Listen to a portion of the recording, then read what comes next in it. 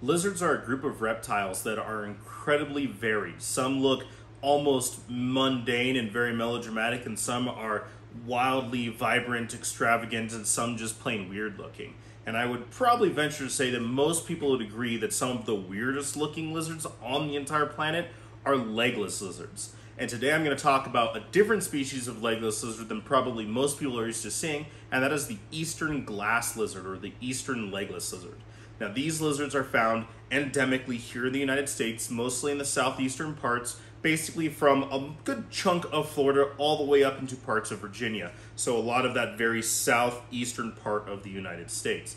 Now, these guys actually belong to a genus called Ophisaurus, and I'm pretty sure I pronounced that correctly for the first time ever, in which Latin it translates to basically snake lizard, which looking at it, there's a lot in that common. In fact, many of these guys, even familiar with different species of reptiles, do confuse them with snakes, and a big part of that is because they lack visible limbs. There are quite a few differences between them, the most obvious of which are their eyelids. Snakes, as a whole, lack eyelids. They don't actually have the ability to close their eyes. They have a scale that covers and protects their eyes that they entirely shed off lizards, most lizards, I should say, do have eyelids, as well as they have an external ear, that auditory meatus, which sits right behind, uh, right in the back of their head.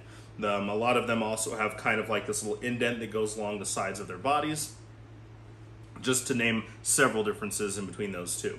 So a lot of the times they're called glass lizards because they do have a propensity a propensity to drop their tails, and supposedly they drop their tails so much and in such a dynamic fashion it's almost like glass breaking. Like they grab the lizard and they drop their tail and it comes apart in multiple pieces like glass breaking. So the glass lizard.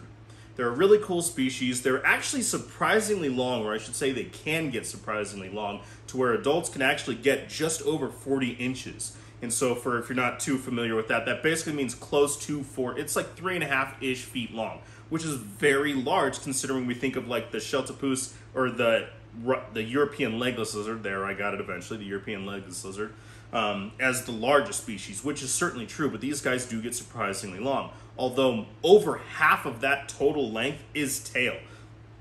They don't actually have very long. Or even like the big three foot plus large long animals, only about a foot or so of that is actual like body from head to vent essentially.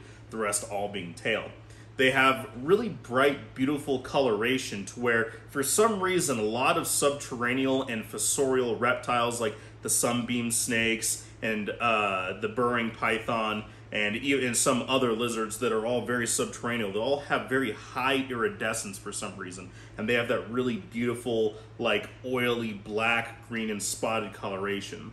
Older individuals and older specimens tend to get a little bit duller um, and definitely have more of a green kind of muddy hue to them but they're still very cool looking lizards. Now these guys are often found in very moist humid swampy wetland areas most of the time and they're fairly common throughout their range although there are some spots the further west you go and the further north you go to where they're not quite as common. But overall they're a fairly common species to find in that particular habitat. Now, in there, as with most lizards, but certainly not all, they're definitely insectivores, where a good chunk of their diet consists of small insects, snails, and even supposedly some ground nesting bird eggs, and even smaller mammals and lizards and things like that. And perhaps maybe even scarlet king snakes, considering how small they are, and the good chunk of their range consistently overlaps with that. Not a whole lot of data about these guys compared to some of the more common types of uh, lizards in the hobby or reptiles in general. There's actually well over a hundred species of legless lizards, but in the hobby we don't really seem to have too many of them, or at least I personally have never seen, and I haven't seen a lot of information about them. In the hobby, I've only actually ever seen three different ones: the European legless lizard, the the eastern glass lizard that we're talking about right now, and then a Madagascan legless lizard that it was significantly smaller and also had a large amount of uh, iridescence and sheen to them. But either way, really cool species of lizard. They're not very common in the hobby, like I said, which is kind of odd because the one that obviously is in this video, which again was done filming at uh, my friend's place where they have quite a variety of other different types of reptiles. And they also, in addition to having several of the larger European legless lizards, they have the glass lizard. And working with this one as well as one of the other ones that I ever saw in the hobby, they were very calm, very chill. Supposedly, this one would try to bite and flounder around a little bit more. He was just, I guess, really on his good behavior for filming that day, and honestly, all of the animals were uh, for filming this day. But they seemed very calm, which is surprising that they wouldn't be as popular as the other ones, considering they're native here in the United States. There's no ban on collecting them, as far as I know, at least in Florida and parts of Alabama where they're found.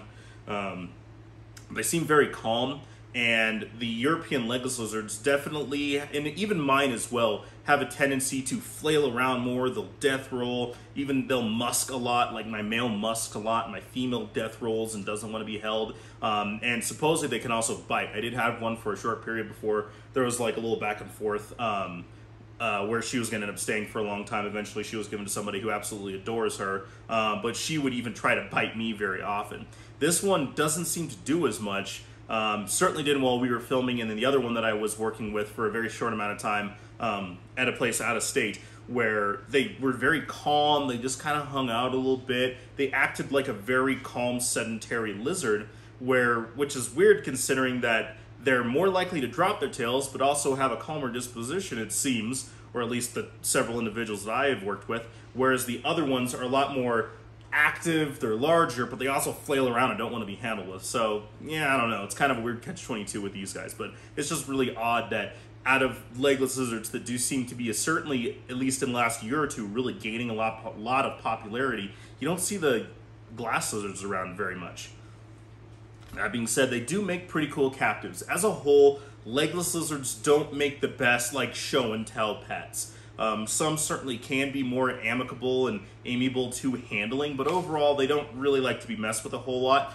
But being diurnal, both the European legless lizards and the eastern glass lizard, they do make pretty good display pets, being found um, in those kind of swampy wetland areas. A naturalistic bioactive setup for these guys would make a really cool presentation as far as a display species goes.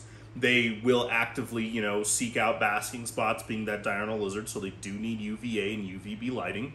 Um, if you give them like the, you know, the half log tubes or the large cork bark tubes, or even large sturdy low branches, they will, take advantage of climbing on top of those.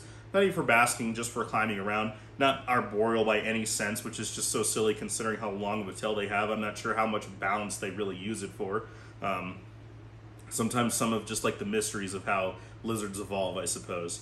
But they do make decent pets. Once you have a nice established habitat for them, they're pretty easy to keep. Wide variety of calcium and vitamin dusted um, different invertebrates, and again, every occasionally maybe like some egg. Um, like uh, they do seem to do very well on hard-boiled egg and scrambled eggs. Uh, maybe even like tiny little mouse pinks or something like that every so often. Probably not super, super high in protein that you should probably avoid.